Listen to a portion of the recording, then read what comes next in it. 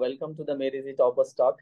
So first of all, uh, congratulations for achieving uh, 52 All India 52 rank in the GATE uh, 2023. Thank So you. I mean, uh, when you started preparation, Uh, actually, I started my preparation around at the end of the second year. I was actually preparing for inter internships. Uh, so I was actually uh, preparing DSA and doing competitive programming. Then at the start of the third year, I actually started full-fledged GATE preparation. excellent, excellent, excellent. So you started from the second year only, okay, almost third Right. year. I mean, some some preparation the Almost start year. of the third year. Start Yes. third year. Yes, sir. So that is really, I mean, uh, I mean, advantage if you are starting early, so you have sufficient time for all that. Okay, Right. nice.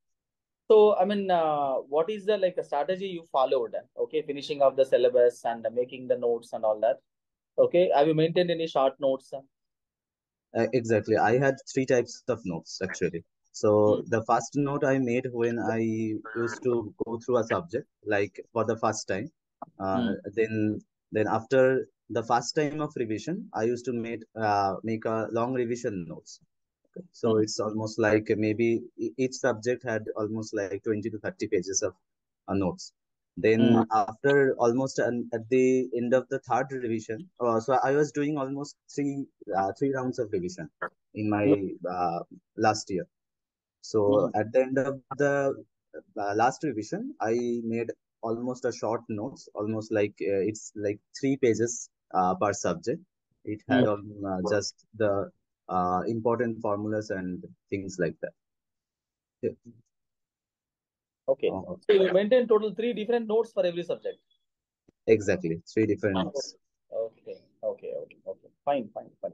So very good. You spend, I mean, uh, when you are doing the three different types of notes, uh, definitely, I mean, you will have, uh, I mean, uh, revision will automatically happen while doing that. Exactly, exactly.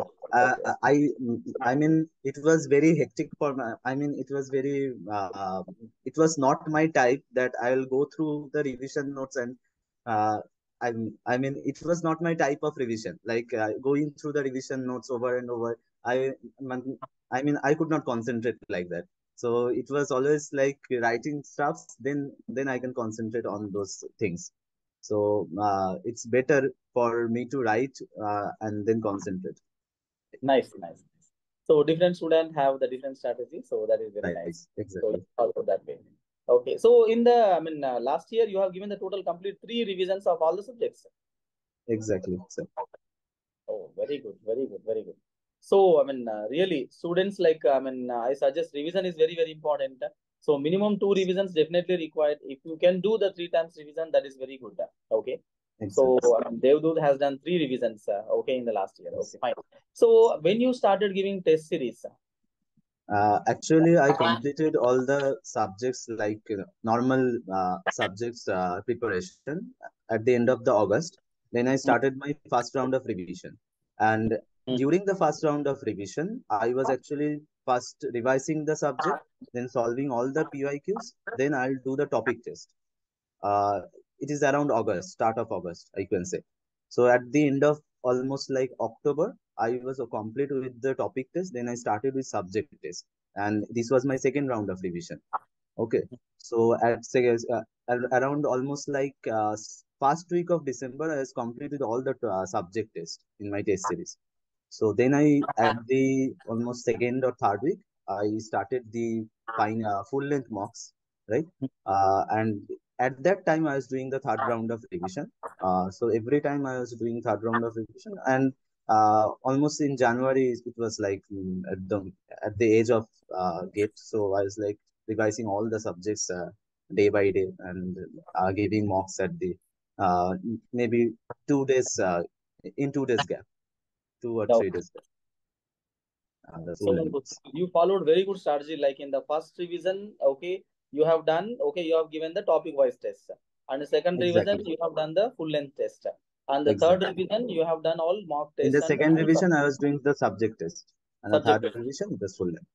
Yes, yes, okay. Third revision, full length. Yes, okay, okay. Exactly. So very good strategy, very good strategy. Okay, right. So I mean, the revision is also happening, and you are giving parallelly along with the test series also happening. So I mean, one important thing is after proper revision only he has given the test series. Okay. Exactly.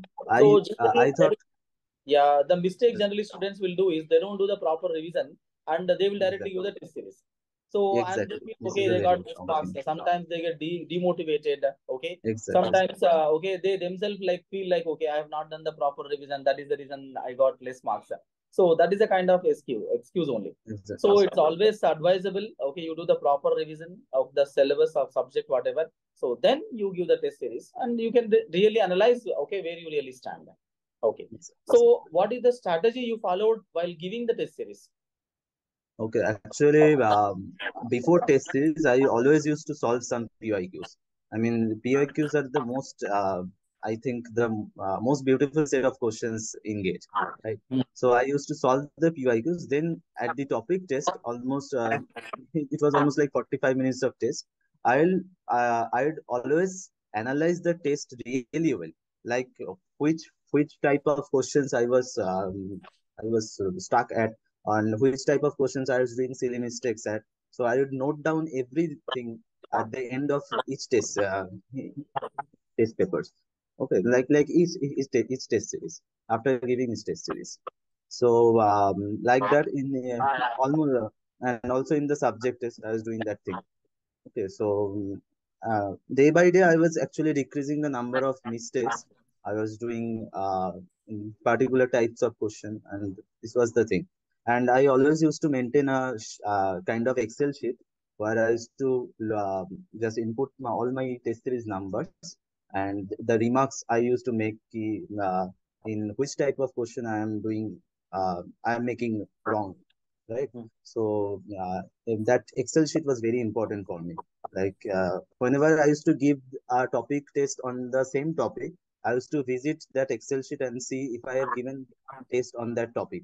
I used to note down which the problem I'm, I was making in that paper and then used to rectify it in the next paper. Okay, Excellent. So, dear students, uh, this is one of the important advice. uh, Okay, Devdut has done uh, very proper analysis of uh, okay test series, uh, like where he was where he was getting the negative marks or any mistakes. He maintained a proper Excel sheet and he rectified okay his mistakes and he ensured that that mistakes will not repeat in the next test. Okay, right? So, and uh, he's saying one important small advice is like before test series, he used to solve PYQ questions also. So that, uh, okay, so I mean, you will en- really enjoy that. Uh, okay, Exactly. PYQ revision will also happen. Uh, okay, and that will give some kind of confidence. And again, the revision of the subject also will happen in the PYQ questions also. Exactly. Right? Okay, so that is nice. So, I mean, uh, how do you feel like uh, the quality of the test series? Uh, okay, it, it was uh, good. I would not say excellent. I'm sorry, but it was good uh, Uh, actually. Uh, you were talking about easy test series, right? yes, yes, the test series? Yes, sir. The the test series was good. I find some questions uh, in topic test are like uh, there was some printing, uh, typing mistakes, typos. I used to challenge those questions sometimes. Overall, the quality was good. I'd say. Okay, okay, okay, okay. So maybe like okay, okay, fine, that is good. So how many marks you used to uh, score in the full length test, full syllabus test or The mock full- test?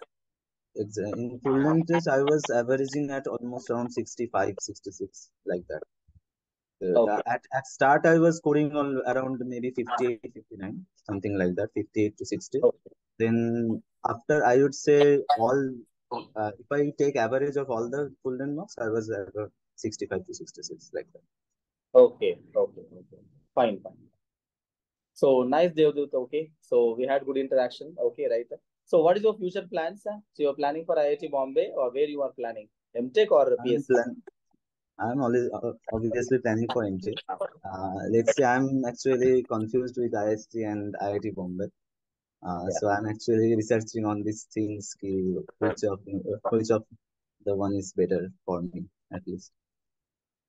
I mean, both are equally good. Okay, so there is no much difference. I've I've heard IISc Bangalore's coursework is uh, um little bit heavy. So Yes, yes.